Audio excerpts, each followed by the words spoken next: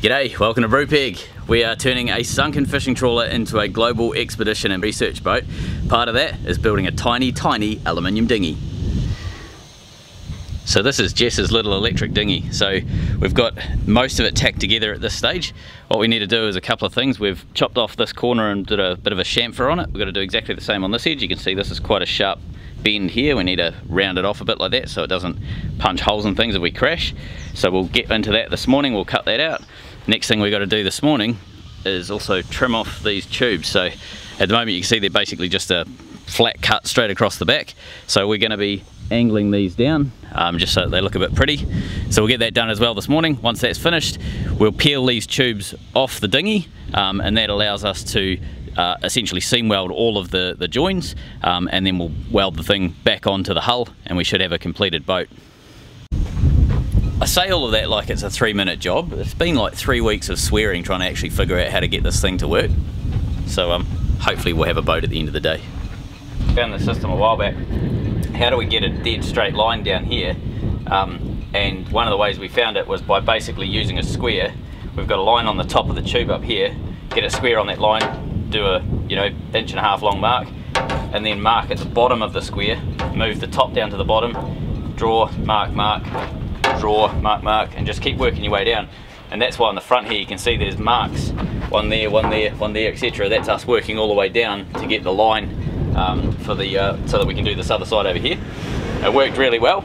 Um, it's not very fast, that's for sure, but it definitely works really well to get that line. Seems to be pretty accurate, so that's the way that we just um, decided to carry on with it. If I was doing this for a job, I'd probably try and figure out some sort of tool that I can just, like a perfectly cut piece of tube that I just clip over top and draw and draw. But for a one-off, this will do.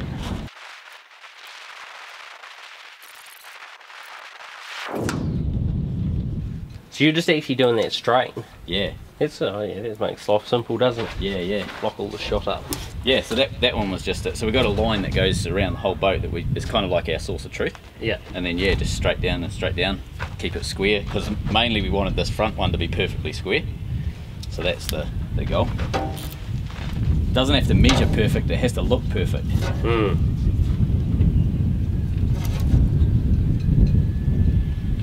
I hope your source of truth doesn't tell you too much stuff you don't like to hear. it's definitely worthwhile doing cutting that off, I think, isn't it? Yeah. It's an easy enough modification, you don't have to line anything up and you end up with a boat that doesn't chop stuff up. Hmm.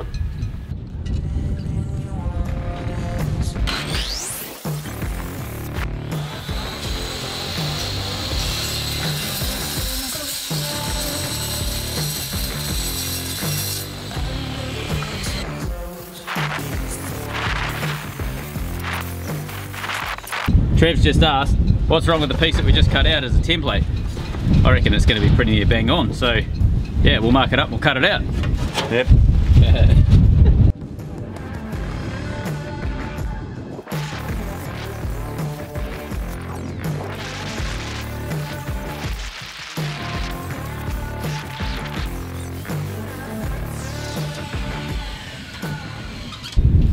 Yeah, a bit of sanding and I think that'll be right.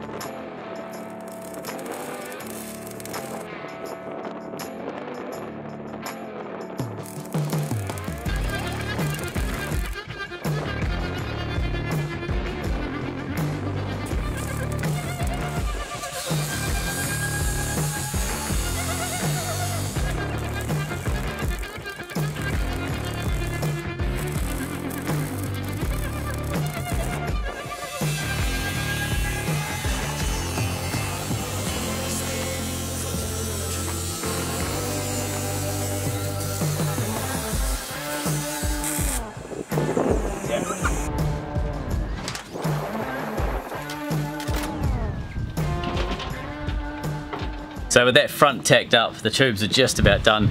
The last little bit we have to do before we can peel them off the hull is clean up these back ends, um, figure out our design on the back. We've got to put a 45 on the back so that they don't look so ugly. Um, and uh, yeah, once we've figured that bit out, we can peel these tubes off. So you can see Trevor's gone around and marked all of these. Every five centimeters, there's a, a mark going right the way around the tube. So we'll go through, we'll draw out our lines, and then we'll start chopping off these back end tubes. The plan, this is a piece of offcut from when we did one of the tubes at the front, and that this angle at the back here is 57.5 degrees roughly was what it was supposed to be cut at. We're going to clean that up make sure that it's nice and straight and true. That's easy enough to do on the bench and we're going to use that as a template. So our back tube angles are going to be 57.5 rather than 45 degree cuts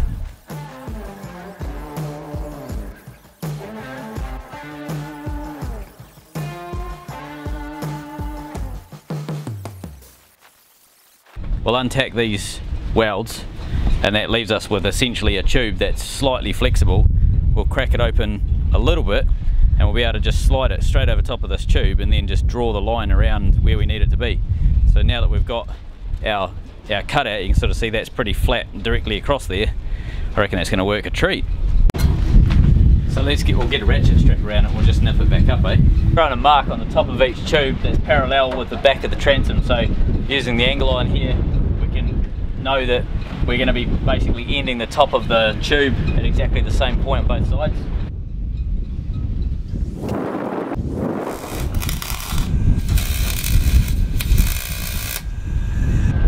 We're currently trying to figure out how to get an accurate measurement 100 mil up from the bottom of these tubes. So we're going to clamp on a piece of 50 mil angle and that'll give us like a level line that we can start working from.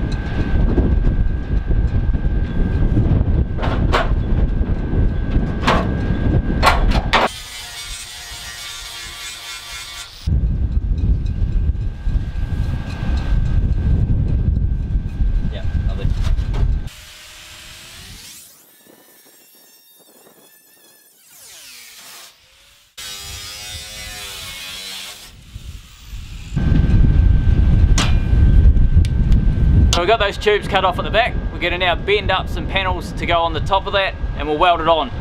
We've got some off-cut piece of aluminium, 2 mil aluminium that we had for something else. I think it was a battery box or something that was trimmed up and bent out of it. Um, this is a bit of leftover. We've got some angle iron, uh, angle aluminium that was actually donated by Trev and we've got a big lump of 16 mil uh, mild steel that was my template for building the pantograph hinges. So with all of that, we're going to jazz up a little bender using the bench.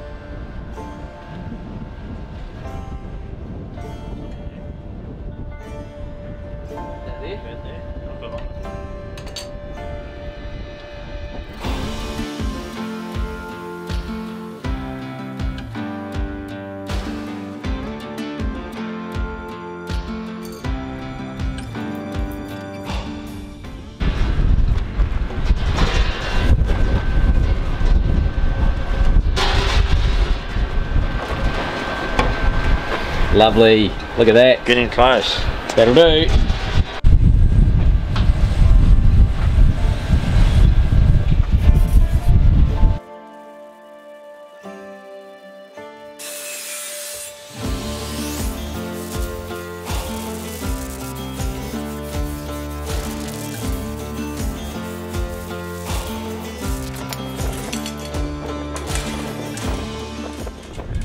To do on the tube, so this is the left side tube, we're going to cut a square in here or a rectangle in here and we're going to push a battery box in. Now, this is our battery box.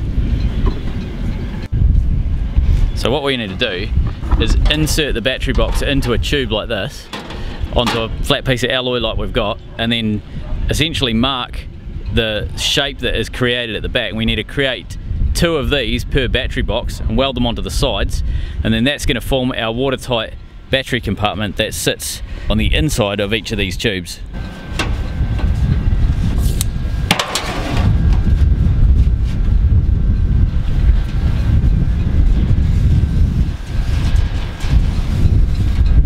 These are our marks for the battery box.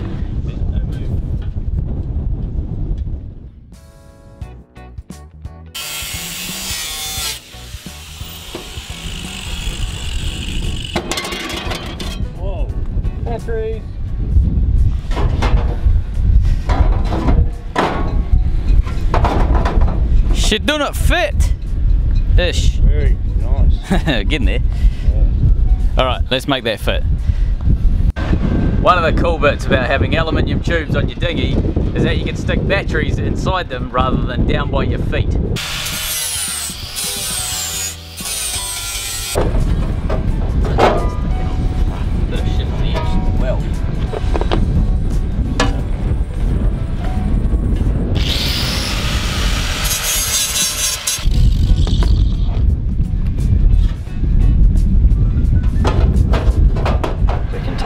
That, up with weld. That's not that complex. So another day on our dinghy build. It's a cracker day today. There's virtually no wind, so we're going to be able to do some good welding today, hopefully. And um, yeah, it's stinking, stinking hot. So we had heaps of rain last night, like I don't know, probably 25, 50 mils of rain, something like that. So what's that, one to two inches of rain um, over the space of a couple of hours. Um, welcome to the tropics in Australia.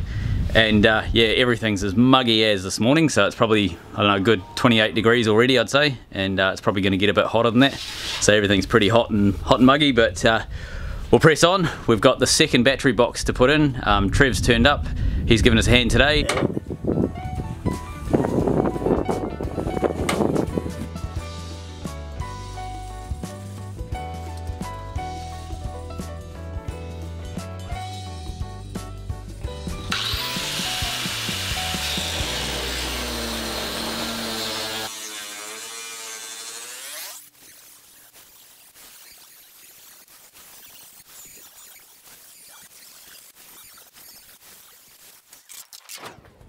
The design for the battery box is pretty simple. Um, we just got this shape here pressed up. It's basically just a piece of aluminium with a couple of right angles in it. So what we're going to do is stick it onto a piece of flat. You see down here, tube's already started. We'll slide a tube over top and then if you have a look down there you can sort of see that gives us the curve that we need to cut so we've got to do a flat um, you know three-sided sort of square and then we're going to do a radius front edge on it so with that we've got to do four of those. Once we've got those cut we can start tacking the boxes together and we'll get those fitted into the tube. All right. Let's cut that out and that's pretty much our template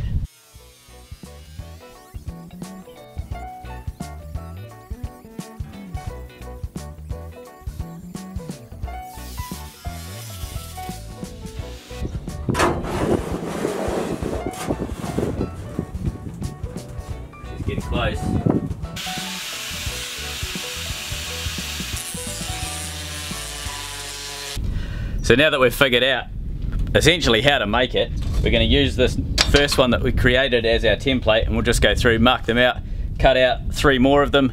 We'll tack up the battery boxes and they should be ready to fit into the tubes. Part of the reason that we're sinking the battery boxes up into the tubes on either side here, one, one on the left, one on the right, is because this is an electric boat, we obviously need batteries to power it. Because this is an aluminium boat, we're not limited by the same things that you are with an inflatable dinghy. So inflatable dinghy, obviously you can't stick anything inside the tubes. You're gonna have a battery or a fuel tank or whatever sitting in the middle down, down by your feet somewhere. We don't have those same limitations. So what we're going to do is clean the inside of this boat right up by getting rid of the batteries. We're going to stick them inside the tubes. We're going to stick flotation inside the tube so if anything ever ruptures, we run it aground and rupture a tube, the boat physically can't sink. It's going to have flotation inside the tubes. And then we're also going to internally run the wiring so that the wiring isn't able to be kicked, booted or any of that sort of stuff. It also means that we can protect it from moisture and things a lot better if we've got it inside a sealed tank. So we're going to be running our electrical setup down the back end of the boat uh, for the outboard to basically clip into that positive and negative power supply.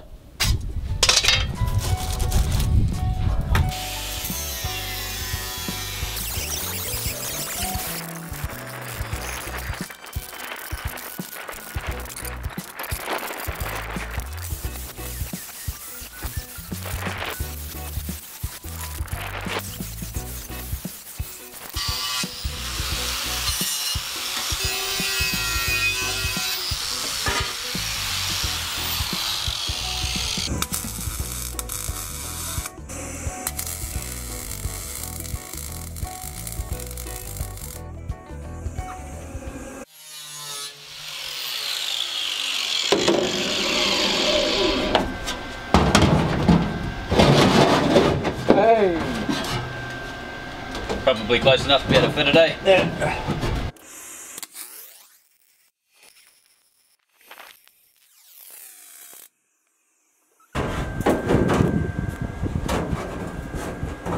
It's never going to go in there. How much we got to take off? It's upside down.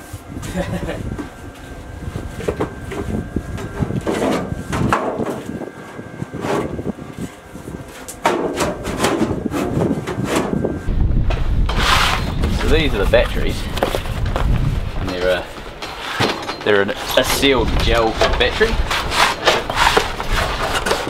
Thing out. Right, So it's a sealed gel battery. Yeah, sealed gel battery. Um, 12 volt, 60 amp hour because we need 24 volt, 60 amp hour to run that motor. So what the plan is, uh, that's the top there. So it sits that way in the boat.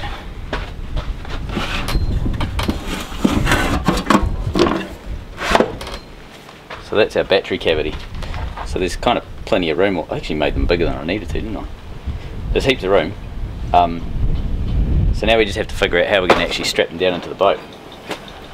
I was You, thinking, you can put a, a, a fair sort of bat, uh, rubber pad in the bottom. yeah, I was thinking of like a strap. So I want everything non-conductive. So I don't want any stainless or anything like that in there. So I was thinking of like some sort of, um, you know, the seatbelt webbing type strap that or nylon or whatever it is. I was thinking of that sort of thing, ratcheted up tight so that it's not going to ever conduct on anything. Oh, yeah. Um, You just need a loop at the back, like a, yeah, a piece of pipe about that long, just weld on Yeah, the back so yeah. you can hook it. Yeah, exactly. So before we get too far carried away with these battery boxes, we actually need to start welding up the hull. The reason being is because in order to run cabling and conduit, we need to have the foam inside the boat because we that's going to determine where the cabling is actually going to sit. Before we do that, we need to have all of the tubes welded up. So we're going to go and buzz some welds around the tubes, and then if we have time, we'll peel these tubes off the hull and completely seam weld the bottom of them as well.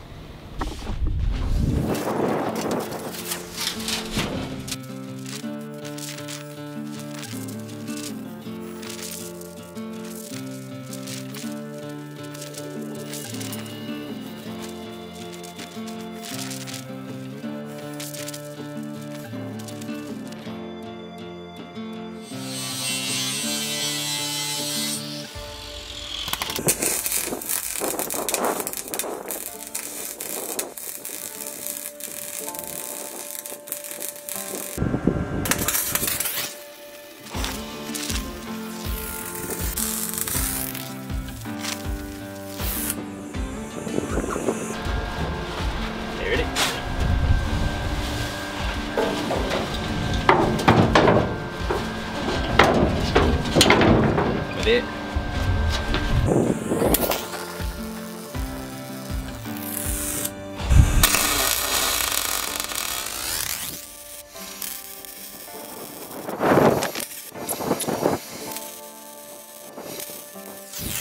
We've got most of the uh, top part of the welds done. Um, we've welded them up essentially. What we need to do now is peel the tubes off the bottom section of the hull so that we can go around and fully seam weld all of the inside joins and stuff, the stuff we can't get to when the hull is actually intact on these tubes. So we'll go and do that uh, and then we'll flapper them off because we're not going to be able to get to them again and then we'll get into, um, yeah, get into welding the hull on.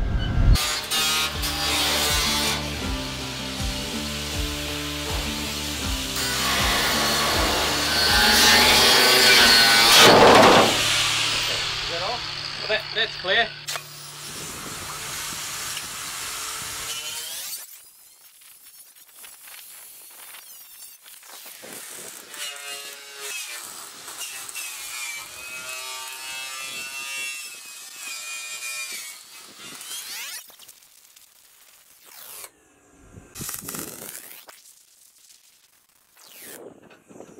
First impressions. Yeah, gorgeous. Yeah. yeah, they look awesome. I don't know why I didn't think they'd be that chunky. Yeah. I didn't think they'd be that chunky. Yeah. You've got to though, eh? You can't have a pinhole or anything. Well, I just figured belt the shit out of it and then bust some back. Yeah. That's my plan. And, and the wind's perfect. Yeah, no, the wind's really good. There's bugger all at the moment. How did we do that? lucky. We ordered it. the wind's been so bad in the last few days, really quite blowy around and changing directions and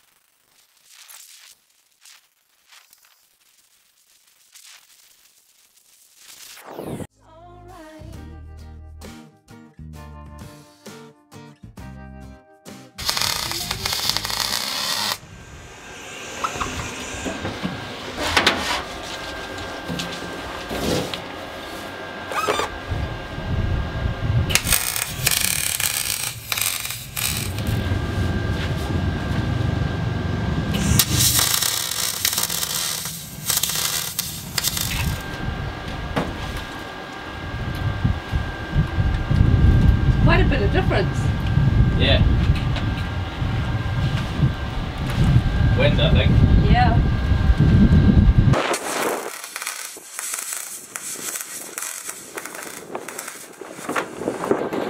I think welding might be off today. There might be. So we didn't quite get the hull fully welded today, which was what I was sort of aiming for. Um, nevertheless, we got probably 80% of the tubes welded up, maybe even more, 90% of the tubes sort of all welded together the way that we wanted. Next step, uh, we're going to get the uh, bottom of the hull, stick it back on, and we'll weld the hull to the tubes. Okay, live, live in eight minutes. Uh, right. Live feed. Good morning, 1.30 a.m. Pacific Coast Time, Red Bluff, California, Chris Wallace.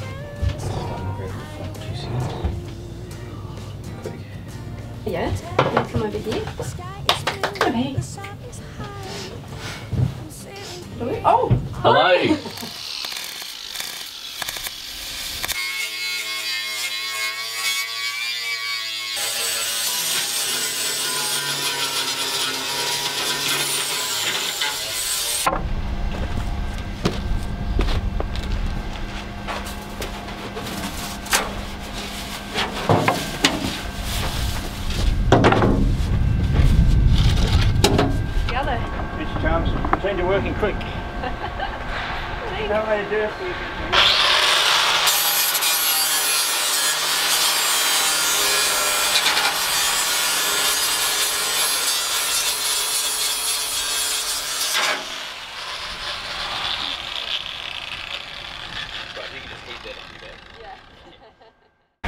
I'll give these.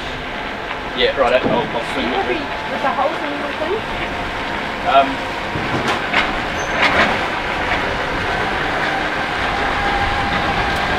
yeah, have a look. Oh yeah, you're right. We found it, Jess has picked up a few. Oh, yeah. Jess is the person for that. There's always one or two, isn't there? Yeah, yeah. Easier to.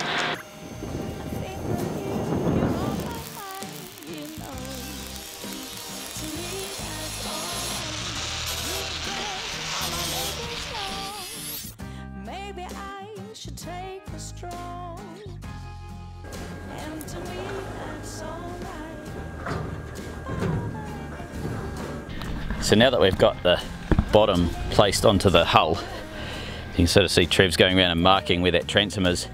We need to buff that with the stainless wheel. So you can sort of see the bottom sits mostly flush against the hull.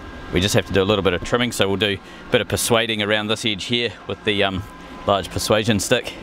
Knock that down, and then there'll be a couple of bits like right down in there. We may have to add a little bit of extension, a little bit of alloy in just to join the hull to the tubes. But we're just about ready to start tacking that hull back on now.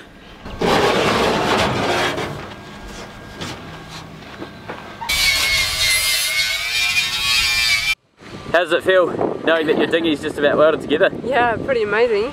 it, it looks amazing. It's a pretty neat little shape, eh? yeah. I can't believe we're going to have such a strong little dinghy Yeah, just for the runaround, you know? yeah. You're gonna have to suggest strongly that it goes down. Oh yeah. yeah, well you don't want me to fill that up as well. No, I think that's asking a bit much. That's super flat. Sikaflex, there's the answer. So yeah, so once you bring it down, it should flatten out. So we'll tack it and push it down as we go.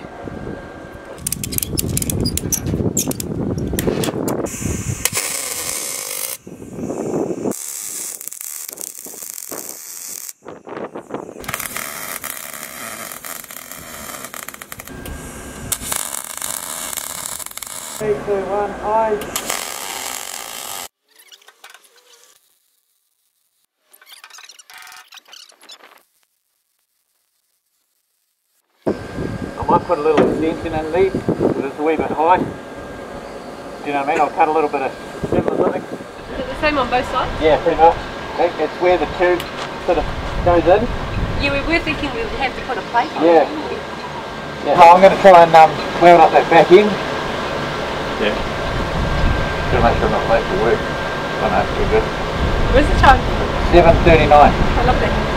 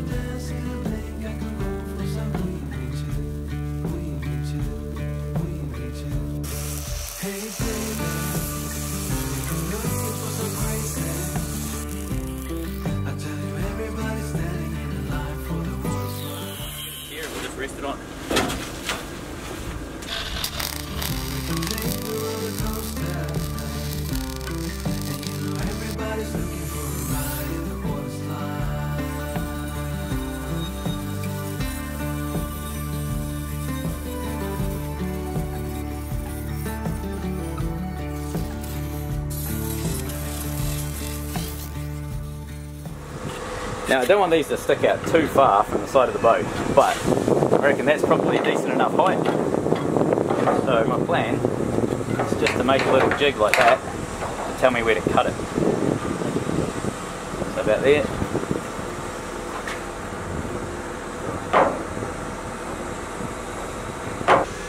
So this is quite heavy pipe. It's um probably a good three mil, I'd say, something like that, maybe two and a half, three mil. Um, there's a reason I use heavy wall pipe. Ease of welding. So when you're trying to weld like say a 1.6 mil pipe, um, it's really difficult to weld it without blowing holes and they're not really that strong, they're easy to bend, all that sort of stuff. I want this dinghy to be able to be thrown around without, you know, damaging it. We're going to take it to Antarctica, it's almost certainly going to drive over some ice. It needs to be strong enough to handle all of that. Heavy wall pipe means that I can weld it on with a decent heat to a, another piece of pipe below it that's quite thick. Um, it's going to be nice and strong. If we need to, we can tow the boat from there. We can tow things from that area. So yeah, that's why. Durable, strong and easy to weld.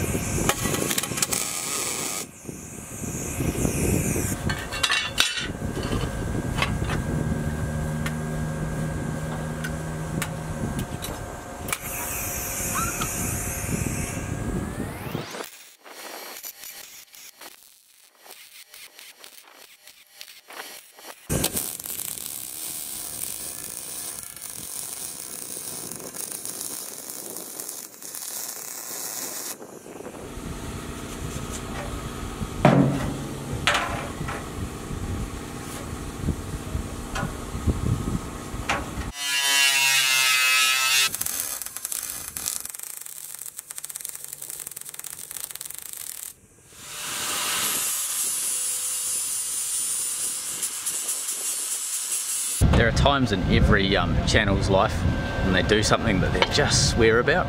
I've just deleted like, what was it, 60 gig of footage from this morning. So um, I'll do a quick recap of what we've just lost. This morning we are putting handles on the front of the dinghy. We're doing that on both sides and the reason we have to do that is so that we can um, yeah, basically tow the dinghy, lift the dinghy, all that sort of stuff, but I have to get the welding finished before I can do the wiring and the insulation that goes inside these tubes. let me show you these handles. So, these handles, it's basically a piece of um, aluminium sort of bent up in a shape, and then we've just got a piece of flat that we've cut into a circle, welded onto the bottom, in beautiful detail. The camera work was just magical, but um, obviously all of that's gone now. So those are doublers. They're going to get welded onto the side like so. Stick that up in there like that. And the reason we need to put these doublers on is because this is two millimeters. This here is thick wall. I like using thick wall pipe because it's really strong, rigid, rigid, great to weld, all that sort of stuff. Not gonna, you know, wobble. Because if we weld it straight onto this, we're eventually going to end up cracking the hull. So we need to put a doubler on that spreads the load over a much bigger area. So that's what these um, circular plates are that we got at the end of these. Now, where is the other one? This is the other one. I might have some footage from this on the other camera, but basically this is a piece of straight pipe with some 90 degrees that we ended up uh, cutting out of a piece that was bent for something else. Found all of this at the scrapyard and we've made our two handles out of this. Now that we've got that two second recap done, it's time to start welding these handles onto our dinghy.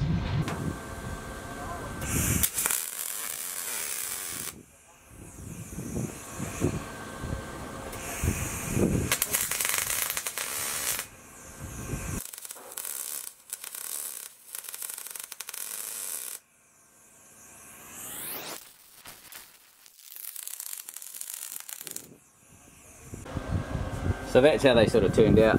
Go right up, you can sort of see reasonable. Certainly not the best weld in the world, but that will absolutely do. It's a bracket, it ain't coming loose.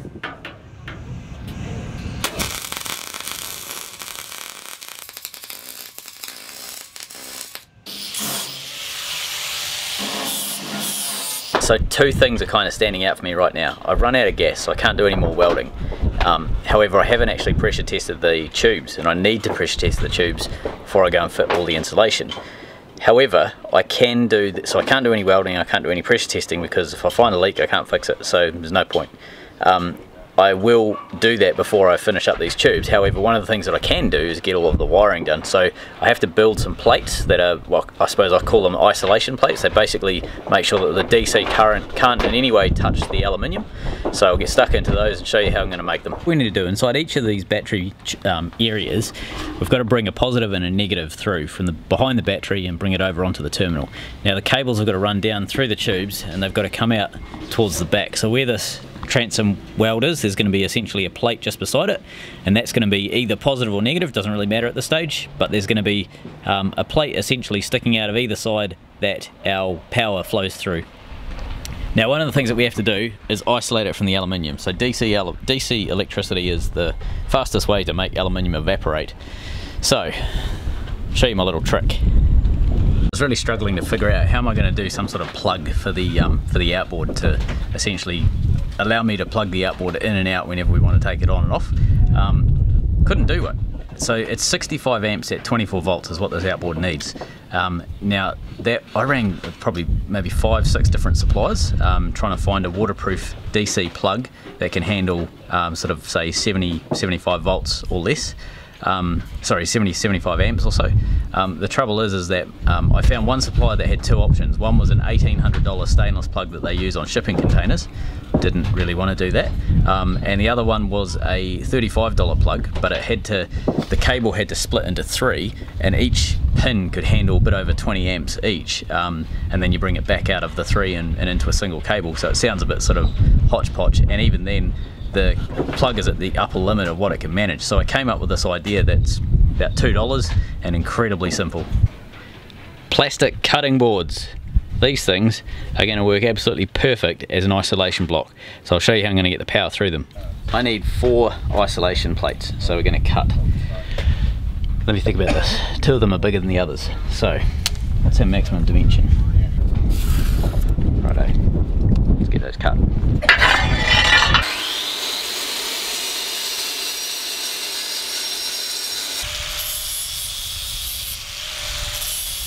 So now we got our four little squares cut up. I'll put it in the vise. Yes, I've got a vise now, thanks to Dennis. That was about centered, isn't it? Give that a shot. So I'm drilling a seven and a half mil hole because I want to put an eight millimeter bolt into it and I want it to be tight.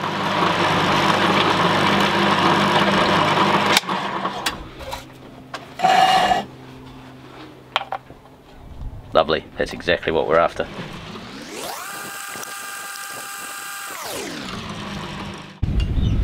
These guys.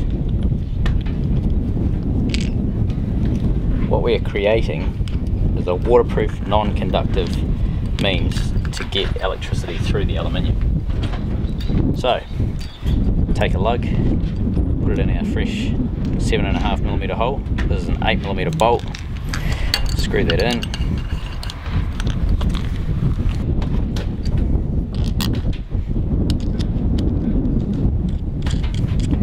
With that you've created a method to be able to get your electricity from one side to the other. This can be Sika'd onto your aluminium and it's completely non-conductive and safe for the alloy.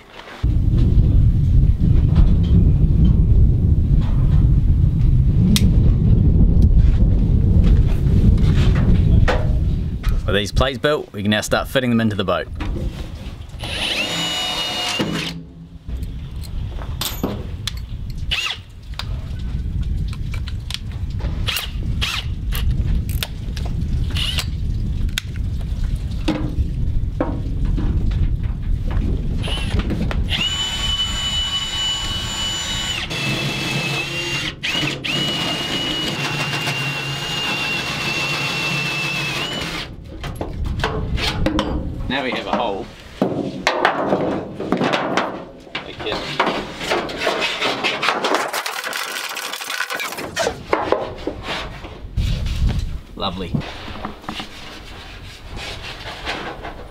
So you can sort of see it'll sit like that with Sika and whatever holding it all together in that edge there, nice and isolated and it's pretty easy to mount stuff on there without it touching any aluminium. And then on the inside you've got this. Spin it around. So we'll hold that in position. You can kind of see it's just sitting there nice and away from everything, not going to cause any drama and really easy to isolate. The way the cabling's run, so we'll have a, in this case we're having a positive over in that corner. It's going to run up to the battery box and it'll the positive will clip onto one terminal on the battery. There'll be another cable that goes from the opposite terminal all the way around the front tubes and then over into this battery compartment here and then down the back this hole here that's going to be our negative. It just started a trawler next to us. Awesome. They basically pulled the boat in and I don't know what it's been three three days complete main engine swap. Um, yeah they had one engine out sitting on the ground the new one beside it. They were swapping some parts over a couple of days ago and I just heard it first fire up just then. There we go. Cat 3406 fired up